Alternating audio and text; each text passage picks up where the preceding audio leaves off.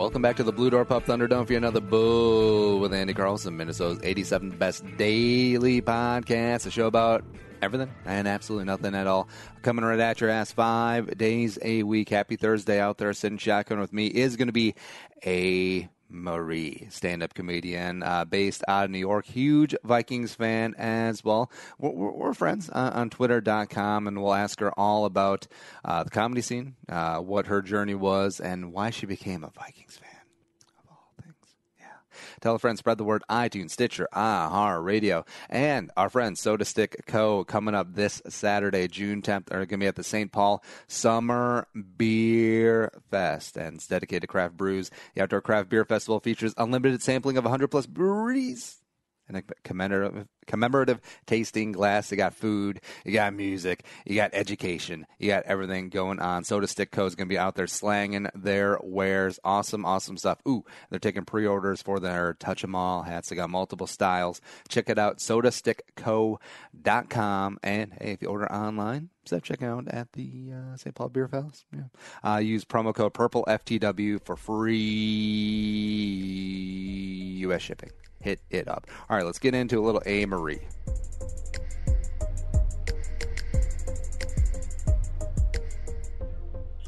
And coming on in uh, for the first time is uh, I, I, like the stage name, the A. Marie. A, a Marie, the A. Marie. Yeah, because um, a lot of Maries in the world. there's a lot of A's. I mean, hell, I'm an A, and you're differentiating yourself. You're like uh, Sh- Cher or Chappelle. Well, eh, eh, people get really confused by my name, but I just kind of shortened up my full name. That's mm. how I got it. Oh, well. Hey, Marie.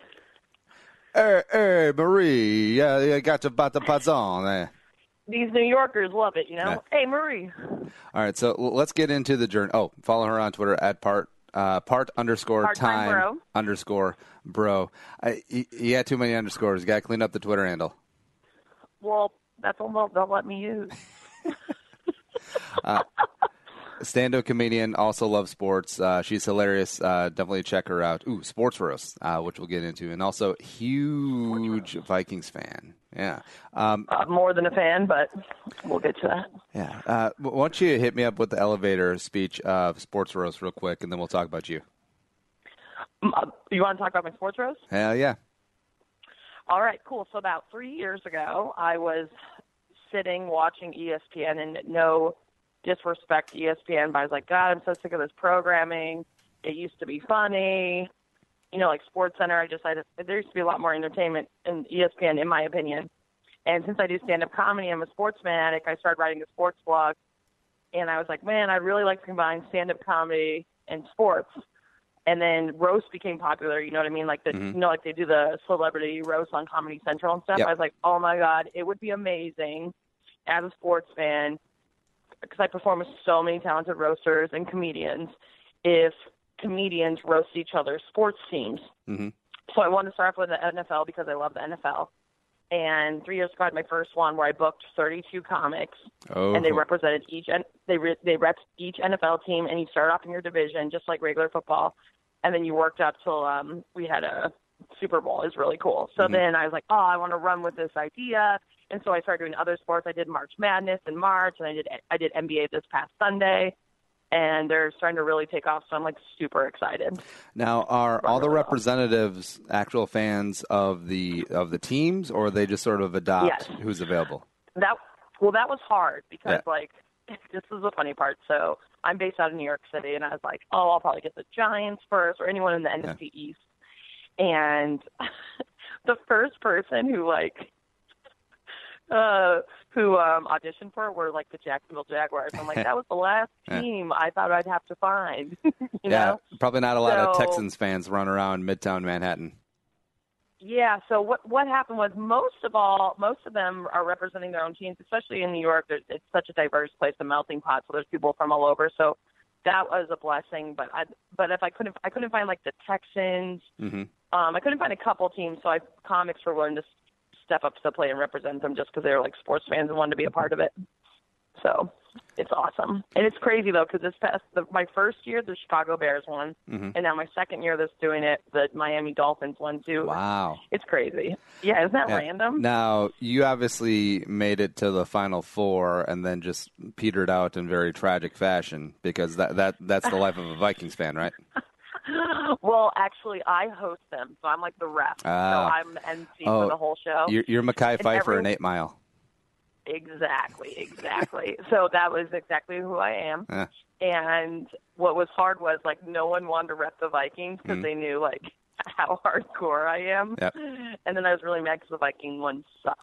Oh, of course, we lost the Packers. It's fine. Oh, that's even worse. Yeah. I know. It- Come on. Y- y- your weave is slightly more believable than Mekhi Phifer's, though.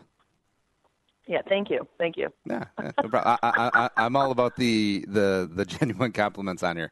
Uh, so the you're originally from New Mexico. Now, when I said New Mexico. Yeah. yeah, uh, now when I was first uh, stalking you on the Twitter.com, uh, yeah. you- Yeah. You're Vi- one of my Twitter boyfriends. yeah, yeah, Viking. Oh, one, one. There's multiple. Well, there, you got you got to have you got to you got to have you know Yeah. posing different URLs. You know what I mean? That's yeah, fine. that's fair. I understand that. Uh, so knew that you're a Vikings fan, but it says New Me- uh, uh, your your location says currently NYC, always NM. Now, I thought that was my dyslexia playing tricks on me. It's like, oh, she's got to be from Minnesota, right? I mean, how how do you yeah. how, how do you get a Vikings fan out in New Mexico?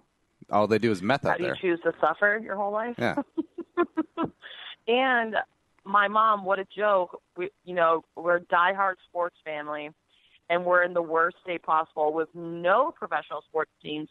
We had we had like a a hockey team, like for briefly for a moment, but not professional. And then we have the farm team. Um, we had the farm team for the Dodgers, and with the Rockies, we have the Isotopes, the Mhm. Albuquerque Isotopes.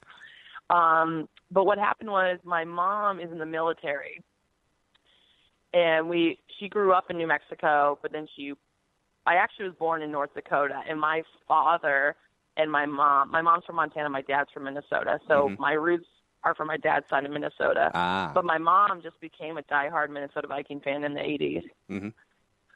And then she told me when I was a little kid, I was just like obsessed with sports. She's like, "You don't have to like the Vikings if you don't want to." And then I also like was obsessed with Cris Carter, so I just Mhm. like decided to join the suffrage and become a Minnesota Viking fan at the age of five. Yeah.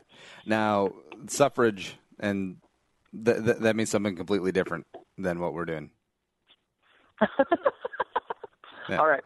Uh, no, like one of my favorite uh, man show bits, as to take a tangent, is when they went around li- like a, a farmers market and talked to all these women about ending women's suffrage, and they were getting uh, getting signatures and stuff on that. Like, like no one knew what suffrage mean meant.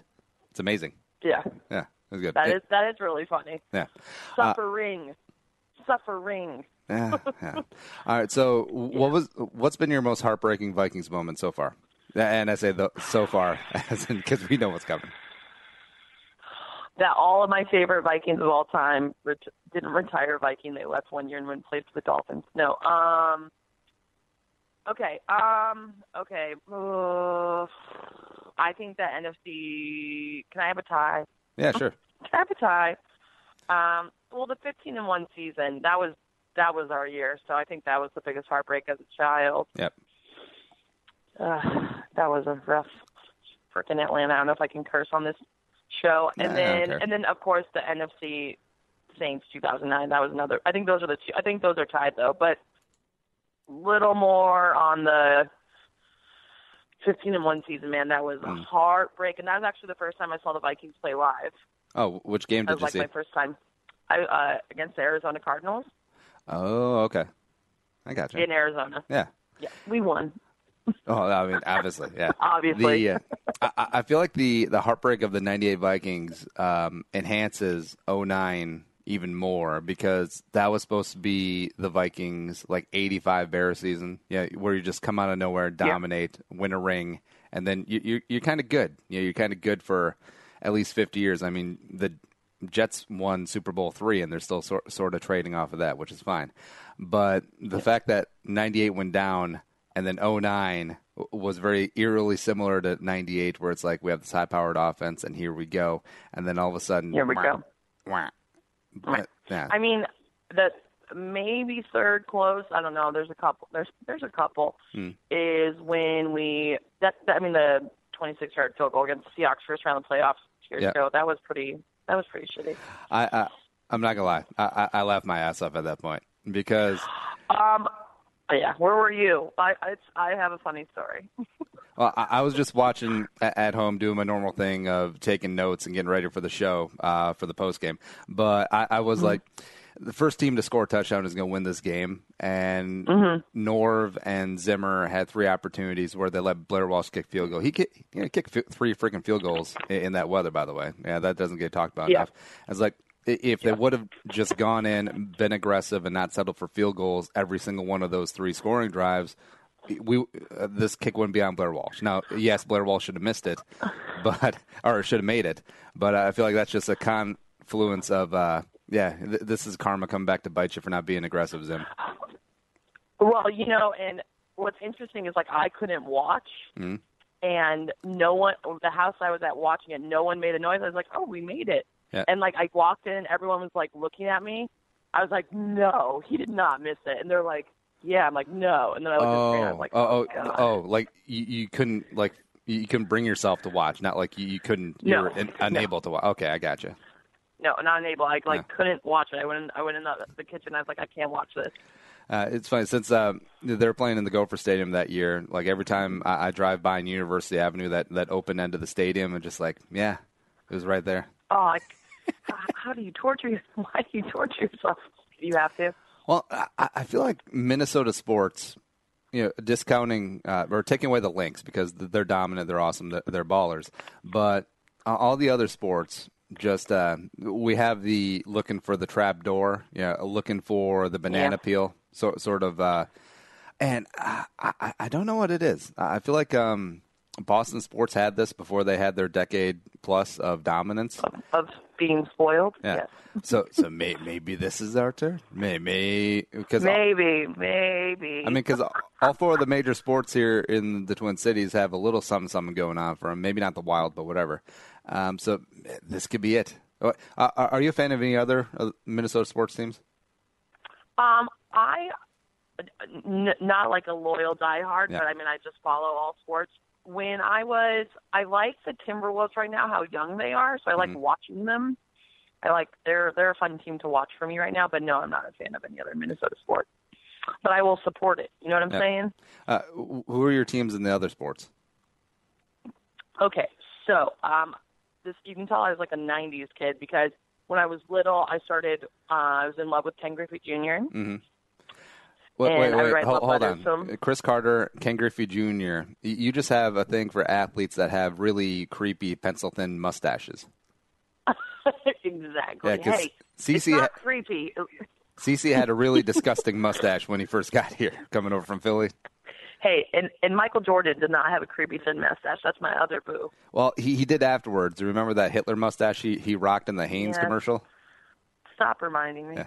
Well, I mean, it's almost like uh, he he was he was drinking and playing cards with Charles Barkley. It was like, hey, America loves me so much, I can wear a Hitler mustache in a commercial, and no one will say anything. Yeah, He was right. yeah, yeah. That's funny. No, but I grew up. So I grew up following the Mariners, and then when Ken Griffey Jr. broke my heart, and went to the Reds. I kind of started just following the Yankees, and now that I live in New York, I kind of follow them, but they're Mhm. kind of too corporate for me. But I love baseball; it's a great game. Um, I'm just like a baseball fan. I, I kind of wherever I live, I kind of just follow the teams. I grew up a Chicago Bulls fan, and now I'm just a LeBron head, hmm so I follow him anywhere and live for that guy. And for hockey, though, when I moved to New York, I was never really into hockey growing up. And when I moved to New York City 10 years ago, I wanted to go to every sporting event. I went to a New York Rangers game, and I was like, this is a beautiful sport. So I like Mhm. started following the Rangers. Oh, uh, were you like that uh, that that black uh, St. Louis Blues fan who just turned on Mm-hmm. hockey and was like, "This is lit. White people have been hiding this from us." I was like, what? Yeah. I was like, this is an amazing sport. Well, and it reminds me of kind of like soccer Mm. almost on skates. So I was like, this is a beautiful sport. So I like really enjoy hockey now too.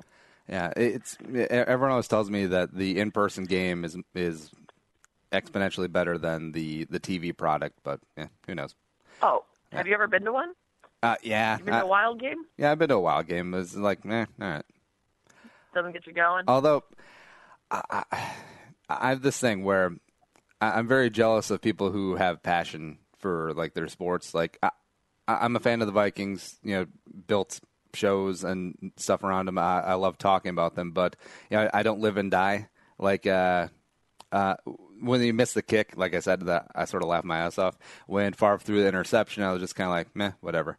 And when Morten Andersen for the Falcons kicked that field goal after our guy Gary Anderson missed, I was kind of like, yeah, like I, I don't have that ride or die highs and low mentality with sports teams Oh. that a lot of people do. And I, frankly, I'm a little jealous. Like I, I wish I could take some. It's not even like apathy. It's it's like a, just a low pulse rate. Like I, I wish I could raise my pulse rate a little bit. I am just that way with the Vikings, though. Mm. I don't. They are just like they're they're the team I'm like fanatic for. Like I'm Yeah. annoying. Like that's that's how much I love them. Yeah. Like I'm up, like I'm obsessed. Yeah, like, like most of my sports teams are like how I regard like um like Genoa salami. You know, I, I, I like it, but it, it, it doesn't make my life whether it's good or not, or whether I have it or not. Um, you know, so I also have a podcast, Part Time Real Live, but it's off for the summer, and I start up again in the fall. And I had Chris Kluwe on my podcast. Did you ever see that when you were stalking me? Uh, I, I, did. Did you? Did you? Did you? You did? what do you think of him? He's so great. He hates sports, but he's so great. Mm-hmm. No, Him he, and Blair don't get along. yeah, yeah. Oh, well, mostly because of Kluwe and the Priefer thing, and then Blair standing by Priefer. Yeah, that whole Yeah, kerfuffle. that whole that whole thing. Yeah, the whole yeah. We sort of forget about the the alleged gather up all the gays and put them on an island and nuke them until it glows thing. Yeah, we kind of forget about those things. But yeah, Kluwe's uh, great. Uh, some of my buddies recently had him on their podcast, and he's a, a, a one man talking machine. He can talk about pretty much any subject. He's very counterculture when it comes to the former pro athlete. Like um, he, he he loves that the game provided him with a platform and also you know a big sack uh, uh, nickels. But other than that, yeah, he he's got other interests in life, and I respect that. Yeah. And did we, did, and I I totally keep forgetting that side note back to what we were talking about. I forgot that Blair Walsh went to the Seattle Seahawks. Yeah. Yeah, and, th- and then they got they they got rid of Hauschka, so they're they're pretty much riding or dying with uh, Blair Walsh this year. That's so funny. Yeah. That's oh, great. All right. So speaking of the Seahawks, uh, what's your take on the Colin Kaepernick situation?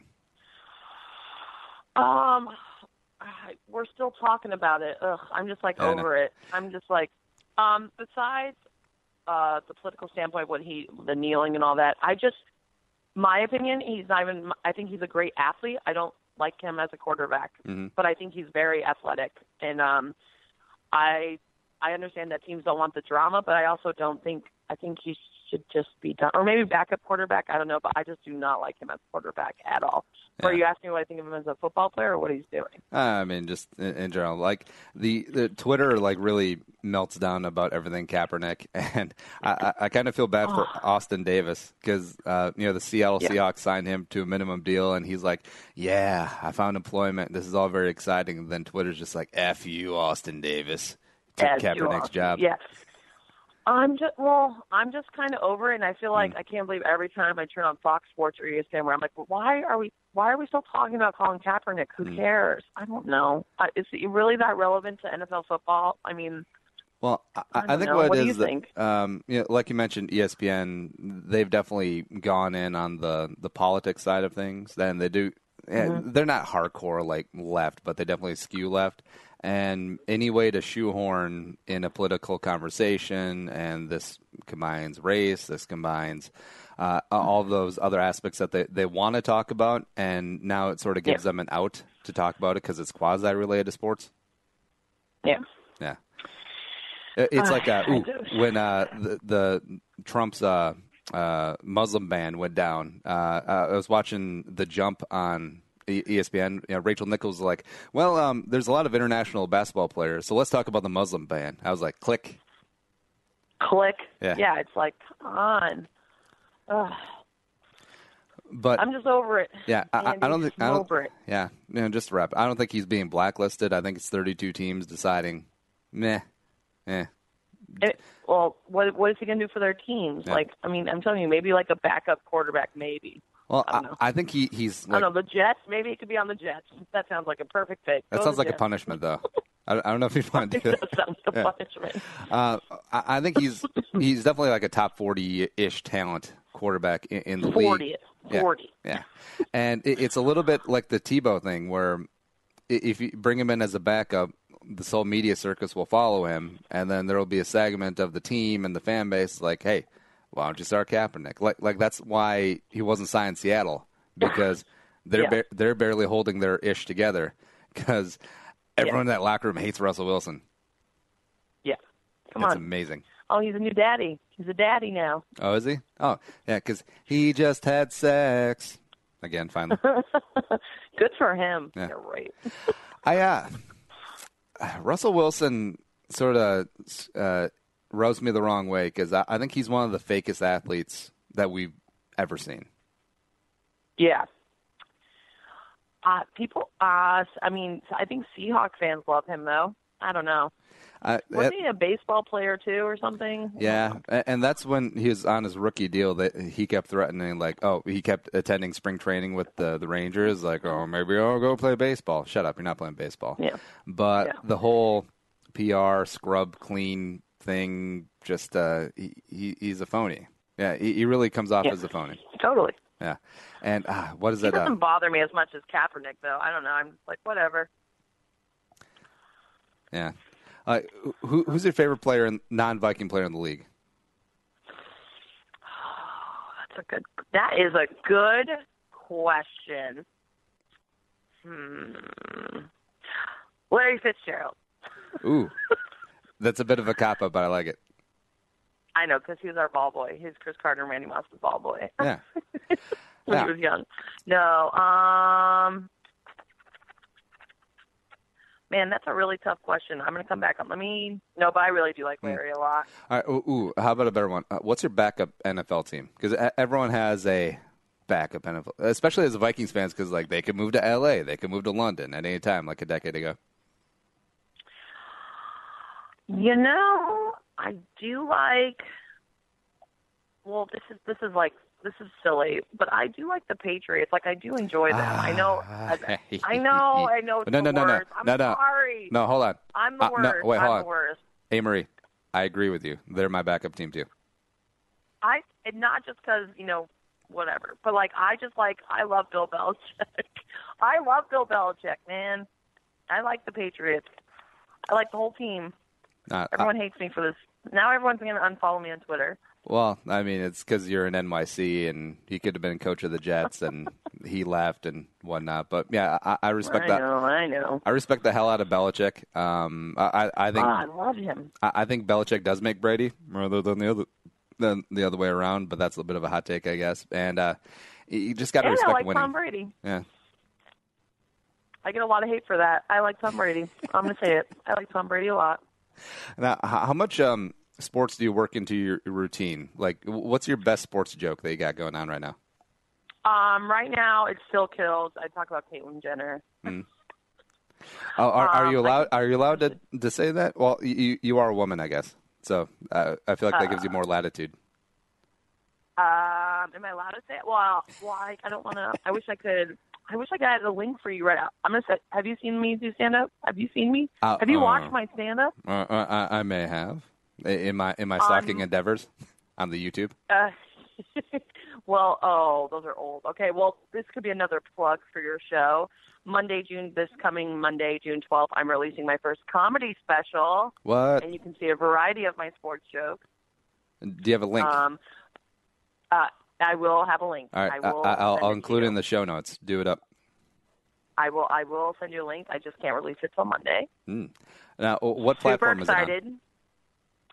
I'm doing it through um, a, just my website. Sweet. Yeah, I, I feel like everything's being released. yeah, I, I love that comedians are starting to do that on their own now because back in the day you have to go, you used to have to go through HBO or Showtime, and I, I know the Netflix specials are really huge now. But w- once Louis started doing it by himself, he's like, Yeah. "F it, F it, I don't need you guys." I, I mean, I want to shop my special, of course, but I that's why exactly Louis C.K. inspired me because this is just um, a part of my career, a level that I've reached, and I've wanted to do my do my first special. And I was like, I was like, oh, how should I release it? And then I remember what Louis C.K. did, so that was exactly my inspiration to release it just through my website. So you all can get it on Monday. All right. Be we'll- we'll ready. up. Uh, stay in your lane.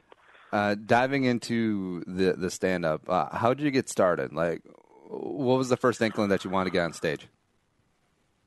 what okay i was forced so i was just to give a little backstory on like how i kind of evolved into a stand-up comedian part-time bro Mhm. was i was being recruited for college basketball um and i didn't i was kind of burnt out and i didn't want to play college basketball and so i i wanted to like move to la live the big city dream so i moved to la i actually ended up going to fashion school in la total What? 360 I know, crazy. Yeah. Gave up my gave up my ball and dreams. Went to fashion school, and I wanted to become a model also when I was in LA. Started doing a little modeling, nothing crazy. Mm-hmm Started. I was like, Well, oh, maybe I'll hold on, hold on. Wait, are, are we talking about like fashion shoots, runway modeling, or are we talking about in quotes I did some model? runway mo- shows. I did some print or are we talking about Um, quote unquote runway uh, modeling in L.A.? model, like quote unquote. Like I was really just in a college student, and once in a while I do a runway show and like a little photo shoot here and there. You know? Oh, But so really oh, so we're not talking about porn. No, Oh, damn it! All right. no way. No, sorry. Sorry, I would have plugged that. I probably would have been a lot more famous by now, wouldn't you think? Uh, I, I don't know. Oh, when has a sex tape ever really helped out someone's fame? That's true. True. Yeah. Yeah. That's not my style, anyways. Uh, but no, so I did some modeling, then moved to New York. Um, wanted to really pursue modeling, and then I didn't have, I didn't really know anyone. I just kind of like moved to New York on a whim after college. I was like, I'm going to figure this out. I just knew my roommate, former roommate from college, hmm and I was wandering around our neighborhood. And in New York City, there's like a comedy show. Have you ever been in New York? Uh, no. Okay, there's comedy shows on every corner, every bar, every restaurant, every venue. There's like 10 million stand-up comedy shows. Well, um, I was out wandering my my new neighborhood, and I went down to this place called the Village Lantern, and they had free stand-up comedy and two dollar Bud Lights. I was like, sign me up. and I never really was into stand-up. I just, but I, I thought it was cool, but I was never really into it. Yeah. I went to that stand-up comedy show, and um, this was eight years ago, and I was like, oh my god, it's the most amazing thing ever. Like, this is so great. So then I became friends with all the comedians, and then comedians, just with my personality, they assumed I was trying to be a comic because that's what you do in New York, kind of like hang out at the venues and the bars and the whatever, and then hmm eventually they'll start you'll start getting stage time. So everyone assumed I was a comic. I started getting really into the comedy scene, and this one comic, Colin Kane, was like, I would like bring girls to the show. I would just like bring audiences because I just was like a big fan. He's like, wait, so you don't want to be a comic? You're just willing to like bring all these people to my show? I was like, yeah. He's like, you should start working with me. So I started producing shows with him. hmm And actually, I started producing shows with Colin Kane, and then at this venue, Caroline's, I started producing with him and Paul Mooney, which Paul Mooney is one of my favorite Oh comics. yeah. Yeah. And yeah, random. And then after after two years of producing shows in New York City, this other comic by the name Sergio Chacon was like, "Hey Marie, you have to start doing stand-up comedy." I was like, "No, I do not know what I want to talk about. Like, I love it." He's like, "No, you're going to be so good. Just do it." I was forced, and then I did it, and I caught the bug, and I just hmm. like that's all I wanted to do. Do you remember your, your first um, first joke? Uh, yeah, I talked about my ex-boyfriend being. Yeah, I talked about my ex-boyfriend. Yeah. I think being gay. Yeah. Well, now was Yeah. he gay coming in? No, um, I just uh, no, I assumed he was gay because he broke up with me. Oh, So I gotcha. no, um, that was yeah. I, I just got dumped, Mm. so I was like, it was. I think my first three minutes was about him and our breakup. Now, I've had a couple of uh, stand-ups on the show, and they've all got their own like one piece of advice to you know, someone who wants to start out. Like, like if someone came up to you in New York was like, "Hey, hey, Marie, I love you, man. Uh, w- w- give me one piece of advice for trying to become a stand-up comic." Don't do it. No, um, I'm just kidding. Um, my advice, man, I. My advice. Uh, I'm, I'm trying to. I would say produce shows. I would I would start off by producing shows because you Mhm. learn you kind of learn behind the scenes and you learn so much about. I'm lucky because I took a different route. I started behind the scenes and then came on stage. Most comics go the opposite way. Like like they do all these open mics hmm and like bringer shows and like whatever. I think if you produce and learn everything you can about comedy, it helps. You know what I mean? And just write every day. Yeah. Every day. That's the most important thing. You have to write every day. Yeah, I, Every day. I feel like that's like one of the most important things in like creative endeavors, like sta- uh, arts, especially like stand-up comedy, uh, whether it be like sports radio, whether writing, whatever. Uh, write for the trash can. Just get reps in. Just get stuff out of your head. Just get into a good Mm-hmm. It's rhythm. like working out. You got to Yeah. do it every day. Yeah. You got to be persistent. You got to write every day, even if you don't want to. You have to. What have you written today? Because I, at first, I at first I wouldn't do that, and now I make make myself sit down every day and write, like no matter what. Yeah, uh, it's like uh, every kid wants to come out and write the great American novel, except uh, they don't. They never type anything. And every comic thinks they're going to be so funny, or or if people like, oh, I should I should be a stand up comic, or whatever. I'm like, okay, go ahead. It's just that easy. Go on stage and just go for it. You know what I mean? So, Yeah, and you're not funny the first couple Mhm. years. You're like, because you you don't know your voice. You got to find your thing, your niche, Yep. your whatever. And then I, I people are amusing and entertaining. I'm not saying people aren't funny when they first start out because you could be likable. But I finally, the comic told me that when I first started. He's like, listen, you're not going to be funny for like the first five years. But I understand what he's saying now. Mhm. You know, so. well, lucky you've been uh, funny for three years. Yeah, Yeah. A little bit. Uh, A little bit. It, it sort of reminds me um uh story about Chris Rock, like when he first wanted to get into stand up comedy, and everyone always said that his brother Tony was just naturally way more funny. But Chris put in the work, you know, every single day, Mm-hmm. Yeah. uh, writing, going to shows, working for free, just trying to get stage time, and uh, well, and then eventually got like a, a dozen Jewish writers, and now he's hilarious. Can my favorite football player? This reminds me of you. This Yeah. uh, this this is good. This is a good segue. Wait, can I can I my, can my favorite NFL player be retired? Sure, Not a Viking. sure, why not? Ray Lewis. Oh, speaking of Because you just. Okay, uh, excuse me. I listen to his motivational speeches every day. Mm-hmm. No, but just what you said about Chris Rock and Tony was, I like what Ray Lewis says. At the end of the day, effort beats talent. Mm. So that's something that goes along with what you just said. Oh yeah, and that ties in perfectly because I just did a YouTube video today about John Randle. Uh, ah, I love John Randle back in the day. My second favorite Viking Yeah. of all time. and you know, Of all time. too small, and uh, went went to a nowhere school, and then comes in unheralded and just outworked everyone, and never took off a rep in practice or in a game because he was afraid that another John Randle was going to John Randle him, and Yep. j- like it's e- don't want to say it's easy to get to the top, but staying on top is much more difficult than getting to the top. Oh, yeah. You know. Totally. Yeah. Totally. Totally, totally, totally. And um oh my god, I love John Randle. That's seriously Mm. Chris Carr is my first favorite and then John Randle is my second favorite of all time. I used to love hearing when he's wired. He's great. Uh, uh, speaking of Wired, uh, caffeine on the weekend. Give give me your typical because you, you've been out doing shows in like the Hamptons and Atlantic City. Um, gi- give me Yeah, your so I'm in. I'm in Atlantic City right now. I'm in Caesars, Atlantic City, back in a creepy room talking to you. hey, well, that, that's very exciting. Now, uh, Atlantic City, I, I feel like that's um, not as glitzy and glamorous as it used to be. No, and it's in a weird transition right now. Yeah. I think that they're trying to make it more of like a family resort type place, but it's like in a stuck. It's kind of stuck in a weird Hmm. after um what was it Sandy or whatever. It's kind of gone through a weird transition, but they're trying to rebuild a lot of the hotels and resorts, and they're bringing in like a Hard Rock Cafe, and my home. So my home club in Manhattan is called New York Comedy Club. If you're listening and you're in New York, please go there. It's amazing. They partnered up and opened a venue in Caesars down here. So Oh, that's cool. why I have Mm. residency during the summer down here during the week. Yeah, but it's a weird town. Let me tell you something. It's like uh, kind of like a little ratchet Vegas, like a little more.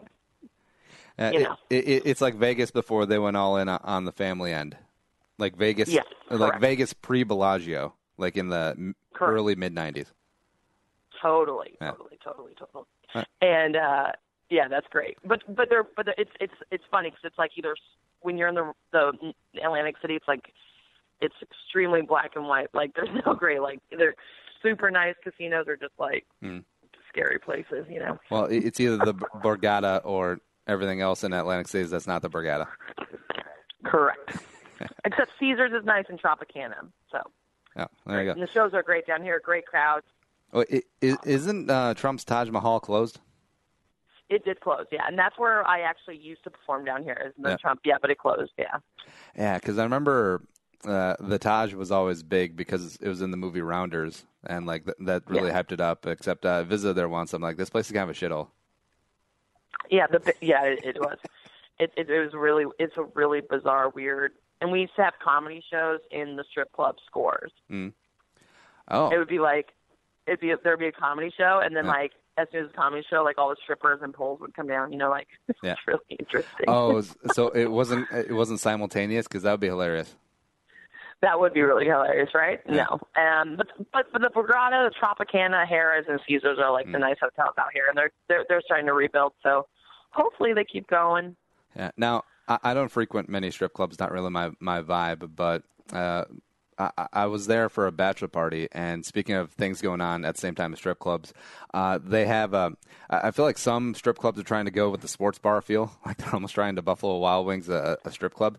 And they have a Yeah. they got a giant ass TV like just off to the left of the stage, and you know th- this main dancer, a lovely young lady. I hope she got through cosmetology school. Was up there dancing. Yeah. Except uh, um, who was it? Uh, Francisco Liriano, I think, pitcher for the Twins, was working on a no hitter. Yeah. So everyone was watching the TV. Well, this dancer maybe is just up there. get. Maybe that's how they could get like Thursday night football ratings up. You know, like just maybe like have Thursday night football in the strip clubs. I don't know. I mean, I go for that. Yeah. Uh, what about the Hampton? What about the Hamptons? I feel like that's going to be a touch nicer than AC. Yeah, isn't it funny? So during the week, I go to And I'm in the Hamptons. It so my backstory in the Hamptons is when I first moved to the city, I became a full time uh, nanny for a family, Mhm. and they have houses out in the Hamptons. And I, they're like my New York family. So when I, I still go stay with them in the summertime because their nanny travels a lot. So I help them out, and then I also do shows in Southampton, East Hampton, and now Montauk hmm and they're usually like little theaters or like restaurant shows, but it's like really fun. I like the more local shows than when all because Manhattan moves to the Hamptons in the summer. Mhm. But I like the more local shows, like people who actually live there year round, you know, Yep. versus the Desperate Housewives. Now, do you have any um, Hampton themed materials? Like, uh, you know, it's really great Chardonnay and Xanax, yeah, and, and getting Oh, away and from our hedge hedge fund husbands. Yep, yep. And the husbands only come on the weekends. And then the moms have their nannies out there during the week, even though their kids are in camp all day. You know, Yeah, it's great. yeah. I, I was like the But the family I work, but wait, wait, wait. But the family I work Mhm. for, they're like wealthy, amazing people, and they're very down to earth, and that's why I'm so glad I'm part of their family. Not like I've seen some pretty bad families and kids. You know, like I've, I, I'm blessed. Hashtag blessed. Yeah, I I feel like um, there's not enough people named Muffy anymore. Yeah, what, what's up with Yeah, that? remember that used to be like the stereotypical like waspy, rich kept uh, old white lady Oh my name God. Muffer. you you would not understand these ladies' first world problems. Yeah. Oh boy. oh my god. Uh, but it's plenty good material and yeah, two extremes though, going from AC. Even though in AC there's like ten minutes, fifty minutes outside of here, there's such beautiful like million dollar beach homes that are like gorgeous. So hmm you know, just a little different crowd. Now, it, with New York uh, comedians, like you said, there's a there's a comedy shop like every other block, and uh, Every I- block. I, just remember like Tom Papa was telling Rogan of one time he did like a dozen shows in one night, just like went from club to club and just working on material. Uh, what's the most shows that you've done in a night? Most shows I've done is six. Yeah. Um, and this is the thing. Even if you're like on TV, Comedy Central, you're just like popping in, which a lot of the comics do. Amy Schumer, Mhm. all all these people, Jerry Seinfeld, uh, Godfrey, anyone, they'll pop in and they'll let. I mean, the owners will let them go as long as they want. But Yeah. what's crazy is most of us, most of us full time like professional comedians, our average sets are like ten minutes because there's so much so many shows and so many comedians on every show that you don't even get to like work out most of your material. So Yeah. it's lucky. It's like a blessing and a curse to be a like New York City comedian Yeah. because there's so much, but you don't Yeah. make money in the New York comedy scene. You make Mm. money like when we go on the road and when you're down in Atlantic City. Yeah. It's so crazy. Like when I'm on the road, I do 30 minute sets and I get paid like triple. Mm. Because people in Kansas and Oklahoma and anywhere else care more about comedy than New York. uh, what's your uh, outside of your your your Bermuda Triangle uh, up there? Uh, what's been your favorite stop uh, when you've been out on the road? Atlanta. Love, love Atlanta. It's Great- a, great strip fun clubs. place. And the Comedy Corner Underground in Minneapolis. That was a fun place. Oh, that was my yeah. second favorite place. Yeah. Yeah, I got to do a triple feature there. It was fun. I got to meet a lot of great um, local uh, Minnesota comedians. Mhm. That was great. And I don't know, that was like my second favorite show. Now, have you ever done uh, Acme when you're when you're up in the cities? N- no, but I'm planning on it in the fall. So get oh ready. yeah, You, you, you, and all the the Viking followers got to come support. oh yeah, because you're coming in Let for something. yeah, you're coming in for the gonna find season. my husband. I'm coming. I'm coming to find my husband. Actually, okay. Oh, well, there you go. Uh, then uh, yeah, we'll have to have you on the show because you're coming in for the Monday night football game, right? Yeah, I want to come. I want to come for stupid Adrian Peterson. All right. Uh, Yep. Now, you, you mentioned earlier that you were sad that Cris Carter ended his career on a different team. Do you have those same feelings about Adrian on the Saints? Correct. Yes. Oh, you do? Yes. Yeah. I'm not. I'm. But you know what? I'm not mad at Adrian Peterson. I'm Mm. just like really the thing. Okay, cool. I mean, I thought he should go to the Patriots for a year. I mean, he. I'm like, you want to get a ring, right? like, what are you doing? But the Saints, they they they might be shaping up to do pretty okay. No, no, th- they're not good. Um, yeah, I, I love that. I forget who said who said it, but it's like, yeah, Adrian Peterson had the choice of getting paid one last time or trying to win a ring, uh, and with the Saints, he accomplished neither. Yeah, like what? Like I was like Adrian. Um, I would have took less money, gone and play for Bill for a year, Mm. call it a damn day. Well- they need a running back. I, I think it's zero coincidence that he signs with the Saints like uh, two days after the schedule comes out. He's like, "Oh, th- they're playing the Vikings week one. I'm in." Yeah. Yeah. Good. I hope our defense just kills you. Well, here, here's my prediction. Like, um, A- A- Adrian, I, I feel like time heals all wounds. Pardon the pun, uh, dealing with Adrian, but Yeah. I feel like a lot of Vikings fans have forgiven or didn't even have beef with him in the first place. So when, when it's when it's forty-one to three Vikings, and at the end of the game, they're uh, the Saints on their backup quarterback, like Garrett Grayson and Adrian are in there, and they're on like the five. Then they just give him the ball like four straight times, and he finally gets in. And then the entire U.S. Bank Stadium just shouts, "AP, AP, AP." Yeah, it's like, ah, totally. kill me. Min- that whole Minnesota nice, you know. Uh, Minnesota passive aggressive. It's like, uh, Oh my God, that's the best Yeah. thing I've ever heard. Not Minnesota nice, Minnesota passive Oh, aggressive. oh, maybe this is it. Maybe the entire fan base is actually pissed at Adrian, except they never voice it. They just drop subtle hints. You know, I've been kind of over. Like, let me tell you, the decade. And what a fun, what a fun running back. He'll, he'll always have a lot of great. Like, I've always appreciated him. I love him. That'll be a, good memory when I'm older. Adrian Peterson, blah blah blah. But I've been kind of over him the last couple of years. He's kind of been useless. So Yeah. Well, he's a two-down running back in a, in a three-down modern passing league. So, yeah. He- he's So we'll see. We'll Yeah. see. Um, switching back to comedy, then, then I'll get out of your hair for the day. The who's uh, something that you've come up with that has made it big? Um. Okay. Who has I come up with? Okay, so big in comedy world though. I just don't feel like a lot of people would know if you weren't, unless you're like a diehard comedy fan. Hmm. But um, I would like to give his name out. His name is Andrew Schulz. Mhm. If you have not heard of him, I love smart comedy. Um, and he makes you think. I love him. Um, he's great. He's doing really well. He's like on MTV, but he's like really known in the in the comedy world. And he has a great podcast called Brilliant Idiots. And he started Guy Code. I don't know if you ever watched this on MTV. I don't, but that's what he's like known for. Oh, But, wait, uh, is, yeah, is Brilliant Idiots the one with Shah the God? Yeah, Wow, that's awesome. I awesome. think so. Yeah. Yeah. Yeah, uh, Andrew Schulz, he's great. So he's someone, um, he's one of my biggest influences, and I'm just like very proud of him. hmm And then there's this girl, Yamaneika Saunders. She just got her first Comedy Central special. It's coming out like soon. They, I think they release them all this month. Mhm. She was another one. She inspired me a lot. So yeah, Huh. I have a lot of good comedians that people should listen to. the Uh, list could go on. Uh, who, who, is um who are the big names like uh, do you look up to? Okay, so well, Dave Chappelle, Yeah. the goat. God, I love that man. Uh, he he, You know, look- he looks up the- to you, even though he's a tall man. Yeah, actually, we're the same height. I got to hug him. He looks great. He looks ripped. I would marry him. Yeah. Um, Ooh, uh, Chappelle special, and when he hosts SNL, like he he looks great. He looks ripped. Like Ohio Oh. Ohio country living's good, except his voice. Yeah, no, he looks he looks great. I mean, I know black people they like work out one day and then they have abs again, but Yeah. he like looks amazing. Yeah. Um, actually, I saw him um, Comedy Cellar's. Like, you've made it in comedy. I'm trying. We're all trying to get there. That's the Mm. goal in New York City, and just as a comedian.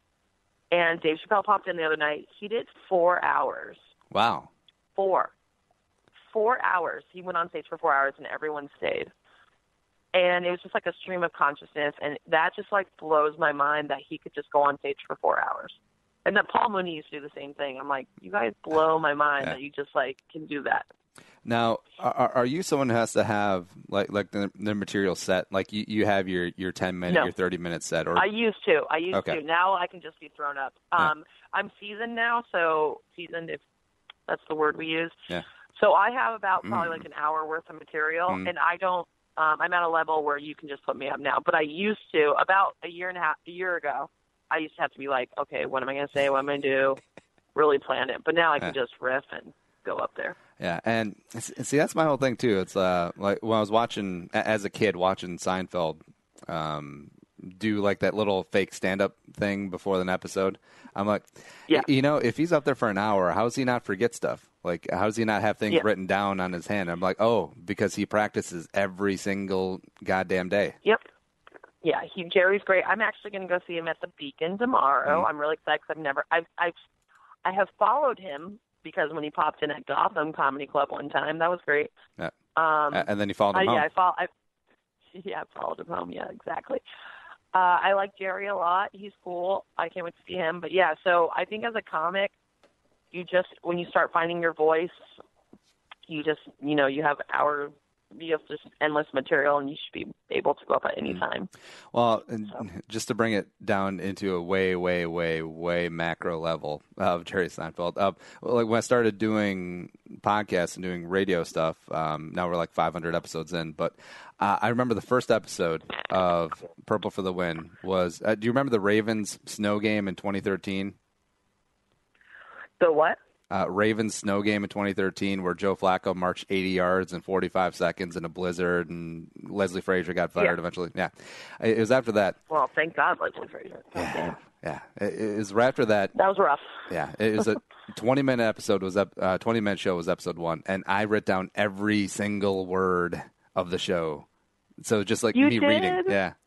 Like it, it's so cute. it's so quaint now. And, and now coming in, I, I had two words written down on a sheet of paper. A. Marie. a Marie.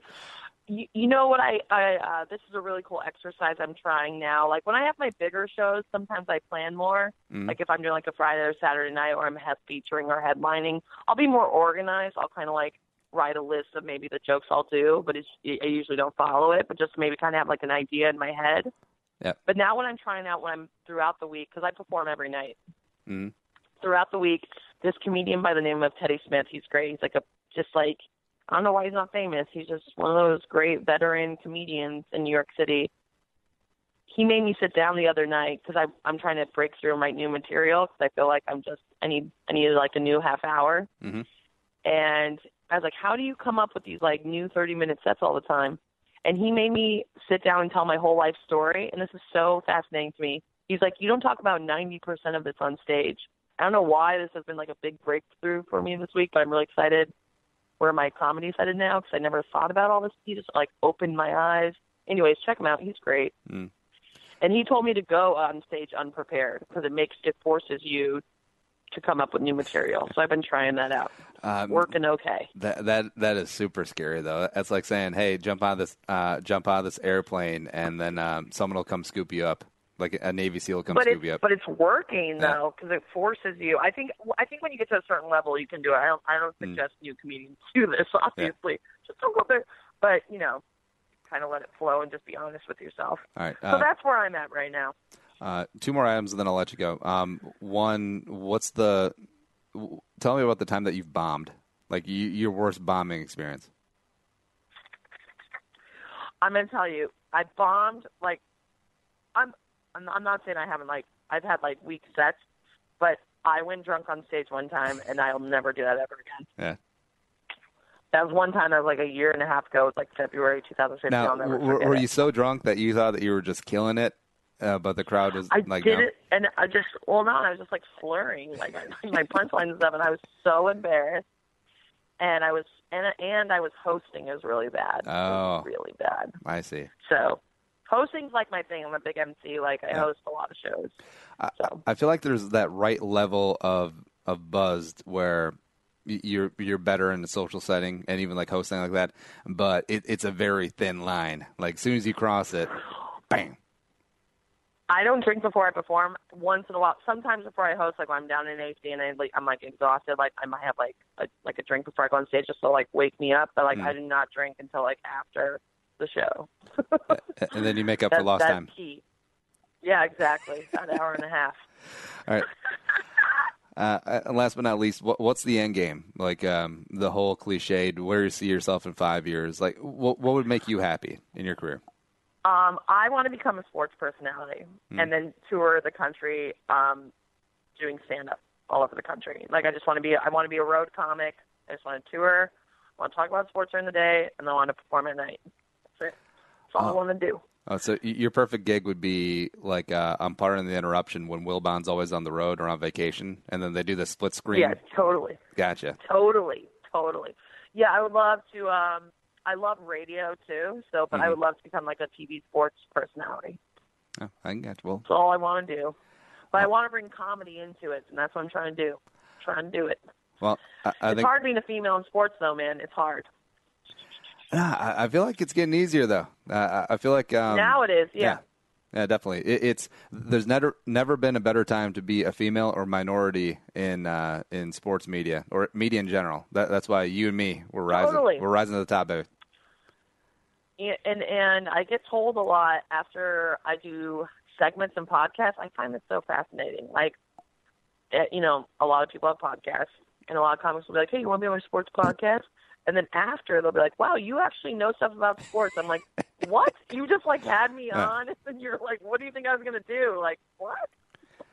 No, that, that- that's that's a little Uh, messed up. That's like I know, but it happens all the time. that's like the greatest backhand. Like uh, that's a Venus Williams level backhand in, in terms of compliment.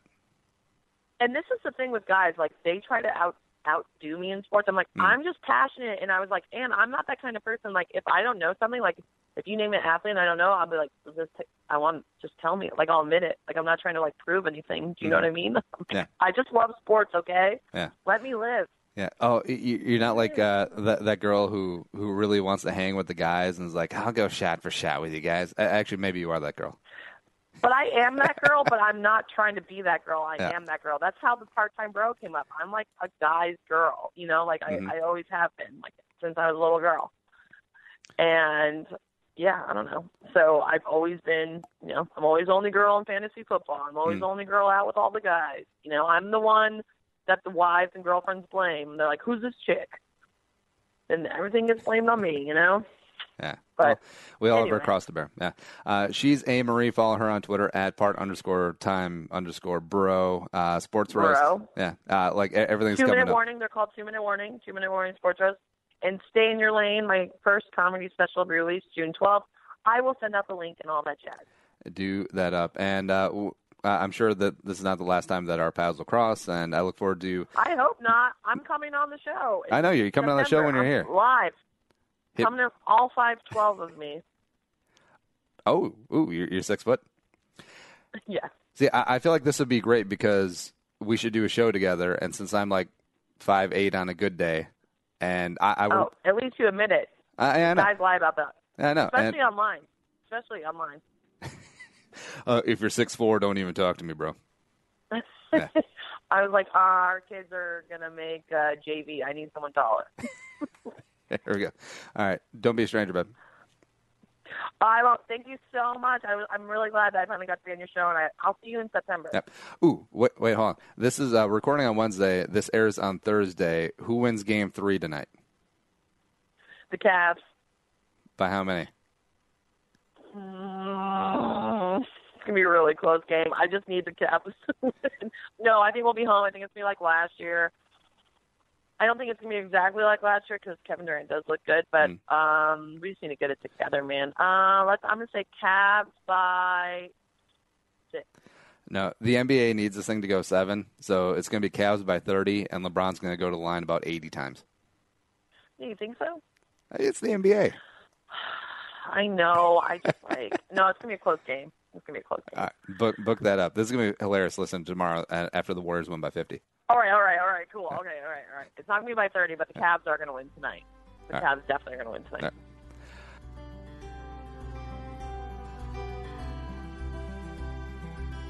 And, and great stuff from from A Marie. I um I I always really respect stand up comedians, and they, they come from all walks of life. Like you see male comedians, female comedians, black, white, rich, poor, everything, and the it, it's not a nurture thing. I, get, I, I think it's definitely a, a nature thing where you- you're either born with it or you're not. And I, I always, you know, I like to consider, consider myself slightly above average in the humor department. I don't know if I could do stand up. I, I really do not like that.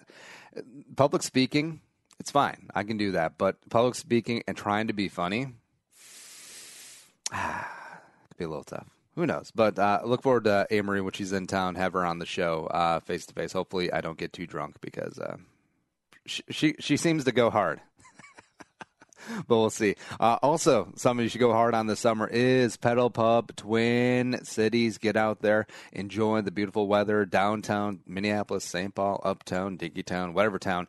Uh, they got routes all over the Twin Cities, and uh, it's a lot of fun. Birthday parties, bachelorette parties. It's a great, great time, and it's a good way to get out, get some mild cardio, have a couple beverage while they do the driving, and stop in a couple of Twin Cities.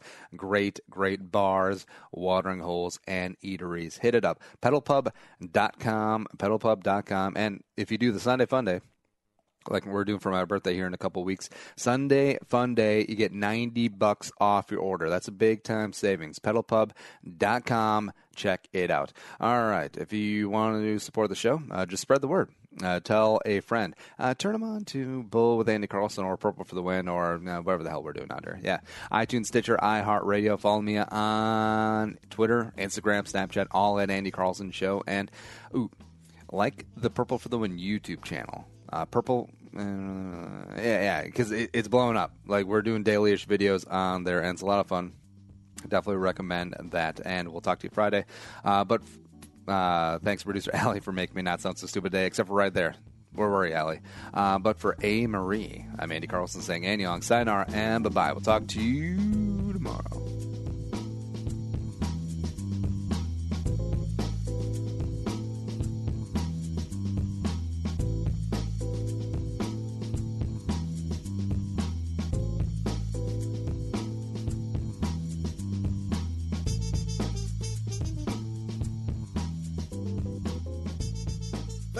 Listening to Bull with Andy Carlson, Minnesota's 87th best daily podcast. Download the show on iTunes.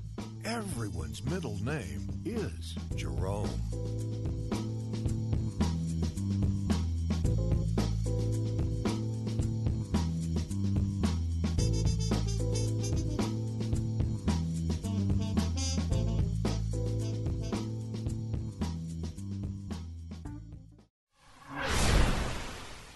Andy Carlson here, Purple for the Win podcast, letting you know that we'll be here all off season long, talking the Vikings angle on everything: combine, pro days, free agency, the draft, OTAs, training camp, and 2017.